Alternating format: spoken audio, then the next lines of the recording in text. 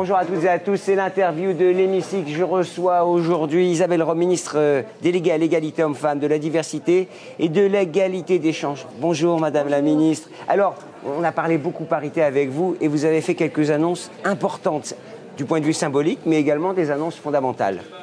Oui, alors la, parité euh, aujourd'hui euh, n'est plus une option, c'est vraiment une obligation.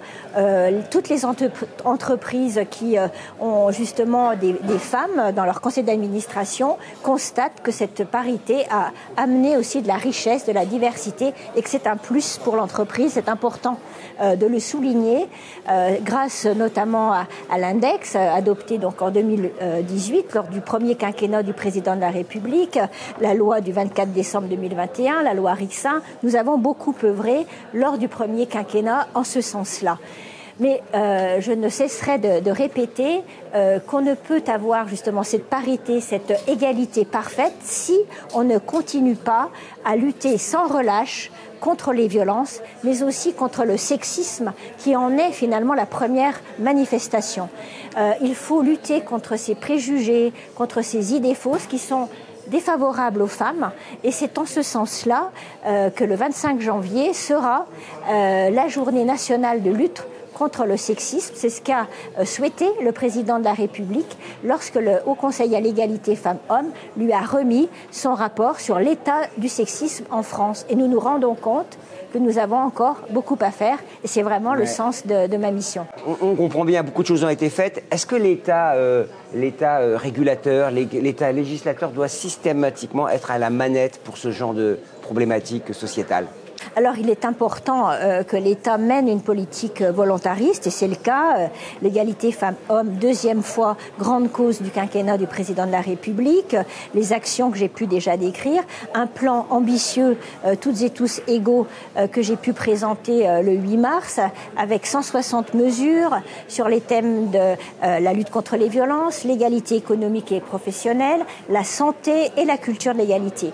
Bien sûr, il faut cette politique volontariste qui, porte ses fruits, mais euh, l'égalité est l'affaire de toutes et tous. Et donc, il faut que dans chaque sphère de la société, eh bien, un, un travail soit fait dans ce sens-là. Et bien sûr, que les entreprises qui sont le miroir de la société doivent prendre toute leur place. Et puis, l'entreprise, le lieu de travail, c'est aussi un endroit où on passe beaucoup de temps de sa vie. Et donc, il est important que, ce, que cette entreprise, que ce lieu de travail, euh, il soit bien traitant et aussi justement qu'il permette euh, une euh, évolution égalitaire des femmes et des hommes et un, égal traitement aux femmes et aux hommes. Il faut que ça ruisselle, pour prendre un terme de notre président une question. Vous avez, on a eu les chiffres aujourd'hui. Il y a encore un différentiel de salaire entre les femmes et les hommes. Chez les cadres, c'est plus surprenant et c'est un peu contre-intuitif.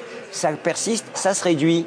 Est-ce que vous pensez que ça va accélérer? Parce que l'idéal, ce serait que ce, serait, ce soit une parité totale, en tout cas sur le point de vue des salaires. Eh bien, je pense qu'il faut actionner euh, différents leviers. Donc, effectivement, l'index, par exemple, est un excellent outil pour mesurer ces inégalités et donc pour les corriger. Et nous, nous voyons que les entreprises euh, progressent. Euh, c'est aussi un travail que nous devons faire en accompagnant aussi les entreprises, peut-être aussi dans, pour une meilleure gestion des ressources humaines qui euh, euh, amène plus d'équilibre entre la vie professionnelle et la vie personnelle, et puis aussi tout ce qu'on doit faire en amont. Euh, et je reviens aussi à cette culture de l'égalité que nous devons diffuser le plus largement possible au sein de la société. Dernière question, Madame la Ministre. Les enjeux de transformation, ça passe par la parité. On sait que la parité transforme aussi l'entreprise, la performance. Hein. Les études sont très claires. Hein. Une entreprise plus juste et plus équilibré, c'est plus rentable, c'est plus efficace. Euh, les enjeux de transformation, ils concernent le climat, ils concernent l'énergie, ils concernent toutes les sphères de la, de la vie euh, en société. Alors, est-ce que euh, là-dessus, il y a encore beaucoup à faire et est-ce que vous pensez que ça progresse Nous sommes à Bercy aujourd'hui, le ministère des Entreprises? Est-ce qu'on va assez vite? Parce que c'est ça qu'on trouve aujourd'hui et que les associations réclament plus de vitesse, plus d'accélération. Alors, il est évident qu'on ne peut pas changer le monde, qu'on ne peut pas transformer le monde euh, de manière unilatérale.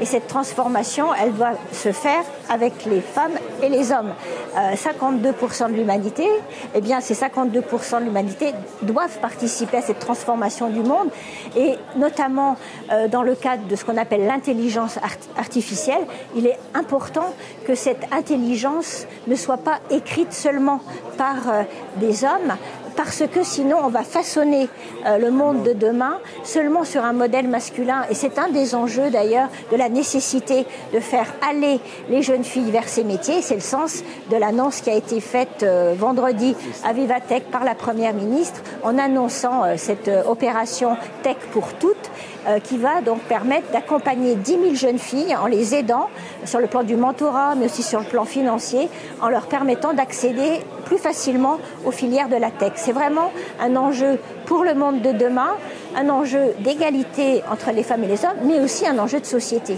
Bientôt plus besoin de légiférer, c'est ça l'enjeu quand même pour, euh, oui, euh, effectivement, la loi est parfois ce marchepied qui permet de passer un, un cap supplémentaire en matière d'égalité. Mais euh, je pense qu'à certains moments d'évolution des mœurs, nous aurons toujours besoin de la loi pour faire accélérer les choses ou euh, faire en sorte justement qu'elles ne régressent pas. Nous le savons aussi, les droits des femmes ne sont jamais définitivement acquis. Il faut une vigilance constante, une vigilance constante et, euh, et, aussi une action euh, permanente et, ne jamais relâcher. surtout un rôle de modèle dans un monde qui perd parfois la tête dans certains pays où on revient sur des droits qui étaient acquis. Merci beaucoup Isabelle Rowe, ministre euh, déléguée à l'égalité homme-femme, de la diversité, de l'égalité des chances. Merci, c'était l'interview de l'hémicycle. Merci Madame la Ministre.